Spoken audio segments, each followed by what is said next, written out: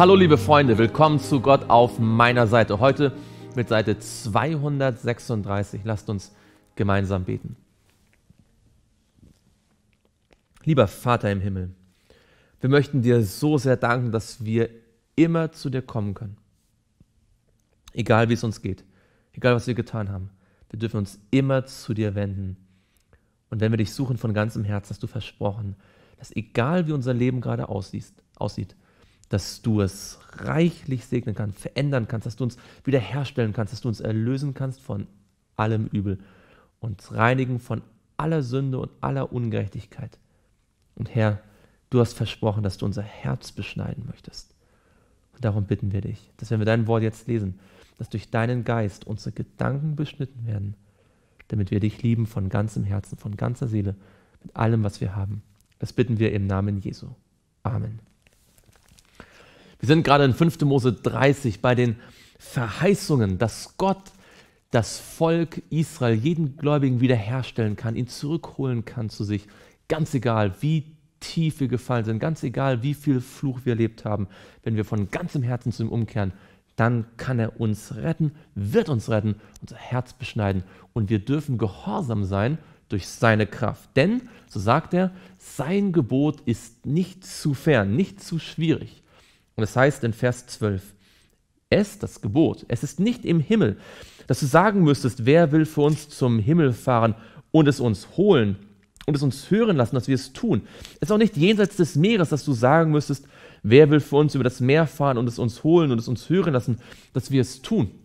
Gottes Gebote sind nicht so schwierig, nicht so weit weg, dass wir jetzt einen Experten brauchen, der es irgendwie uns runterbricht, damit wir irgendwie verstehen und ähm, das dann irgendwie tun können. Nein, es heißt, sondern das Wort ist sehr nahe bei dir in deinem Mund und in deinem Herzen, sodass du es tun kannst. Lieber Freund, liebe Freundin, die Worte, über die wir gerade nachdenken, sind bereits der Schlüssel zum Erfolg.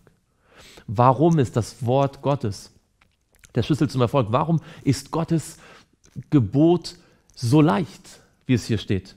Aus dem einfachen Grund, weil jemand dafür gesorgt hat, dass wir es halten können. Diese Verse, die wir gerade gelesen haben, die wendet der Paulus in, im Römer 10, ihr könnt dort die Verse finden, auf Jesus an und sagt, er ist vom Himmel herabgestiegen.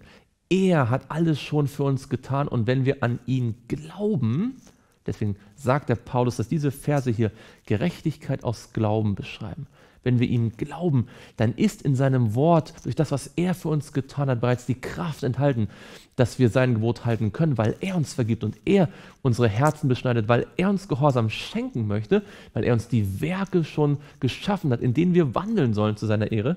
Und deswegen ist es da nicht nur unsere eigene Leistung, die wir uns anstrengen müssen, sondern wir dürfen mit ihm kooperieren und wir dürfen seine Leistung für uns in Anspruch nehmen und sein Wirken in unserem Herzen erleben sodass wir es tun können. Wenn wir über sein Wort nachdenken, wenn sein Wort unserem Herzen ist und wir es wirklich gerne tun möchten. Siehe, ich habe dir heute das Leben und das Gute vorgelegt, den Tod und das Böse. Wir haben in Wirklichkeit nur eine Wahl. Wollen wir leben oder wollen wir nicht leben?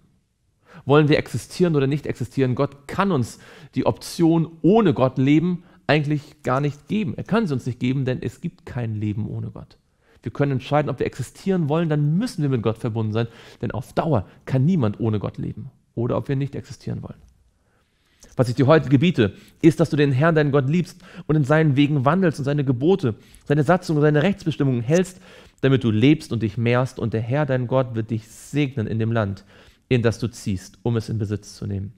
Wenn sich aber dein Herz abwendet und du nicht gehorchst, sondern dich verführen lässt, andere Götter anzubeten und ihnen zu dienen, so verkündige ich heute, euch heute, so verkündige ich euch heute, dass ihr gewiss umkommen und nicht lange leben werdet in dem Land, in das du über den Jordan ziehst, damit du dorthin kommst und es in Besitz nimmst.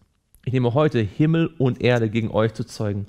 Ich habe euch Leben und Tod, Segen und Fluch vorgelegt, so erwähle nun das Leben, damit du lebst du und dein Same, indem du den Herrn, deinen Gott liebst, seiner Stimme gehorchst und ihm anhängst.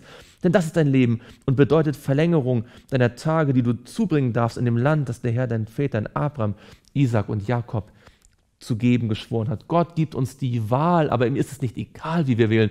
Er wünscht sich so sehr, dass wir das Gute wählen. Er wünscht sich, dass wir das Leben wählen. Er wünscht sich, dass wir mit ihm verbunden sind. Deswegen wünscht er sich, dass wir ihn lieben und seine Gebote halten, weil dann wir leben können und dann werden wir auch ewig leben können. Gott gibt uns eine Wahl, aber er tut alles, was in seiner Macht steht. Das ist sehr viel, damit wir die richtige Wahl treffen. Das Einzige, was nicht in seiner Macht steht, ist unsere eigene Entscheidung. Die müssen wir selbst treffen. Und Mose ging hin und redete diese Worte zu ganz Israel. Und er sprach zu ihnen, ich bin heute 120 Jahre alt. Ich kann nicht mehr aus und einziehen. Auch hat der Herr zu mir gesagt, du sollst diesen Jordan nicht überschreiten. Der Herr, dein Gott, er selbst wird vor dir hinübergehen.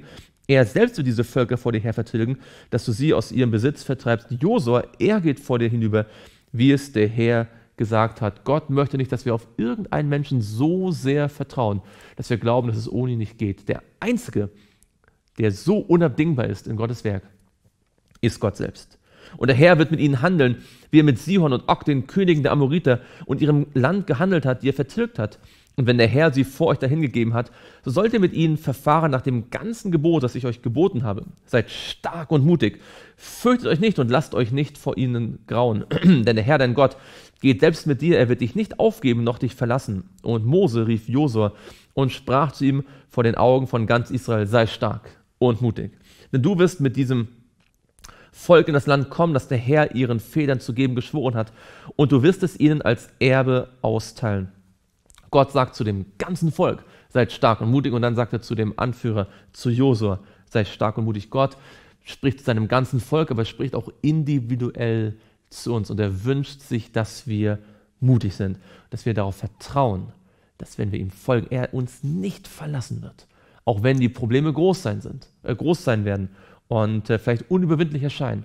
Gott wird in der Zukunft für dich und für mich so sorgen, wie er bisher in der Vergangenheit gesorgt hat. Das dürfen wir im Glauben. Und wenn wir das glauben, dann erleben wir Gerechtigkeit aus dem Glauben. Der Herr aber ist es, der selbst vor dir hergeht. Er wird mit dir sein und wird dich nicht aufgeben, noch dich verlassen. Fürchte dich nicht und erschrick nicht.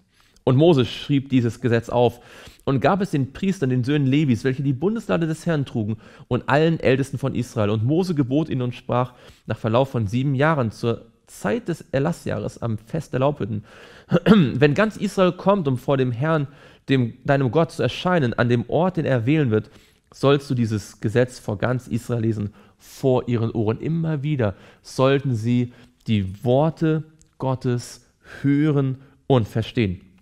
Versammle das Volk, Männer und Frauen und Kinder, auch deinen Fremdling, denn dein Toren ist, damit sie es hören und lernen, damit sie den Herrn, euren Gott, fürchten und darauf achten, alle Worte dieses Gesetzes zu befolgen. Die Israeliten sollten sich an dem Ort des Heiligtums einfinden und dort das Gesetz lernen. Und ihre Kinder, die es noch nicht kennen, sollen es auch hören, damit sie den Herrn, euren Gott, fürchten lernen, alle Tage, die ihr in dem Land lebt, in das ihr über den Jordan zieht, um es in Besitz zu nehmen. Jeder Einzelne soll es kennenlernen. Auch wir haben eine Verantwortung, unseren Kindern und Jugendlichen, die Gottes Wort noch nicht kennen, es so beizubringen, dass auch sie diese Erfahrung machen dürfen, die Jose und das Volk damals gemacht hat, nämlich mutig zu sein und voranzugehen und zu erleben, dass Gott in den Problemen hilft. Lasst uns gemeinsam beten.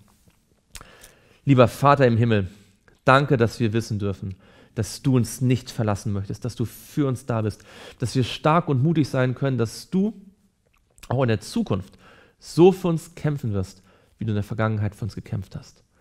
Und danke, dass wir wissen dürfen, dass wenn wir das glauben, weil Jesus vom Himmel herabgekommen ist, weil Jesus für uns gestorben ist und von den Toten auferstanden ist und jetzt für uns eintritt, dass alle deine Gebote leicht sind, wenn wir glauben, dass Jesus für uns gestorben ist und durch seinen Geist uns Gehorsam schenkt. Danke, dass wir diese Erfahrung machen dürfen, dass du uns das schenken möchtest. Im Namen Jesu. Amen.